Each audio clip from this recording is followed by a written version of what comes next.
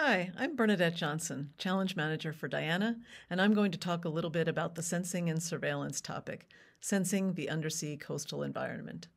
But before I begin to tell you what it is that we're looking for, I think it's important to share why we focused on this particular problem. Why undersea coastal regions? Well, for two reasons.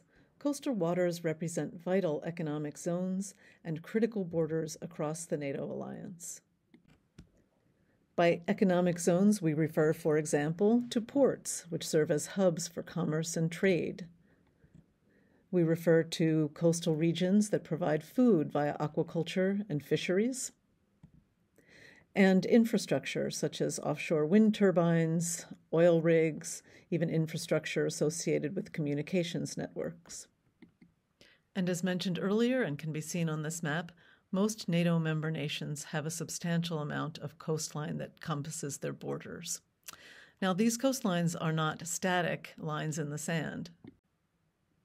They're actually quite vulnerable to the effects of extreme weather, storms, and other climate change activities. Now, despite how important these zones are in our lives, we don't know much about what goes on below the surface. Consider, for example, the scene of the port of Rotterdam, one of the busiest ports in the world.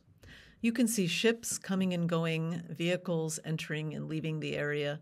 You can see vast distances. You can measure the temperature, the wind speed. You get a pretty good picture of what's going on on a daily basis at this busy scene. Now, all of this is above the surface, but the question is what does it look like if I wanted to know what's going on below the surface at this same area? Okay, maybe a bit of an exaggeration, but not much of one. In truth, many of the sensing modalities that we take for granted above the surface, such as visible cameras, infrared, and radar, they don't work well or well at all below the surface of the water. And while there are forms of sensing that do operate underwater, such as acoustic and some lasers, they don't provide necessarily the vast picture that we're seeking to obtain that would be similar to what we can see above ground. What we are seeking then are deep tech game changing solutions, either individual components or systems that can significantly extend the spatial scales, the persistence, and the feature diversity of undersea environment monitoring.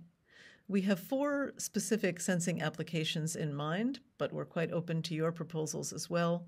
And then we're also seeking not only to explore the sensing world, but the information gathering. How do we get that sensed data out of the undersea domain to where it can be useful? One application is bottom mapping. This is characterization of the seabed for both baselining as well as change detection. Note that the coastal seabeds are extremely vulnerable to change following storms and extreme weather events. We're also interested in detecting objects, perhaps mapping mineral deposits, and perhaps uh, exploring navigation aids through either gravimetric or magnetic sensing, for example. Another application is in critical undersea infrastructures. These could be the footings or pilings or bases of wind turbines or rigs, or the undersea cable network corresponding to communications infrastructures. We'd like to be able to monitor and inspect these on a fairly routine basis, as well as provide some assessments of damage should any events actually occur. A third sensing application area is that of mobile object detection, both man made and natural. By man made, we could be looking for divers, we could be looking for submersibles, perhaps smugglers entering a port. By natural, we are looking at marine life.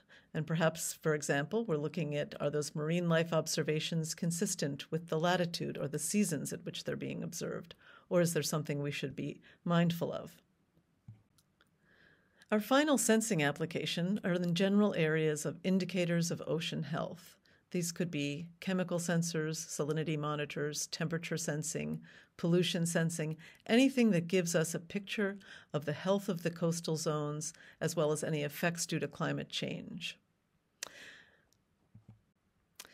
And finally, we mentioned that the most important feature here is not only sensing the undersea environment, but be able to make sense of all the information that we gather. So here we're looking for any of your ideas in communicating the data that is collected in the undersea environment, whether it be by acoustics, by buoys, by fibers, by lasers. We're not going to tell you, you tell us, please. And the goal would be ultimately to recreate patterns of life, visualizations in the undersea environment, and to interact with the undersea environment in a rich way, much as we can do above ground today. In summary, then, we're seeking innovative capabilities that leverage deep tech solutions. We're looking for technology readiness levels or maturities at roughly four or greater. Although, if you have a less mature technology that could be of high impact, please feel free to submit a proposal.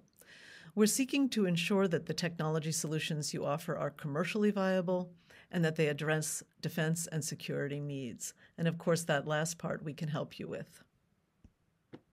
Finally, I'd like to remind all that the call for proposals closes on the 25th of August.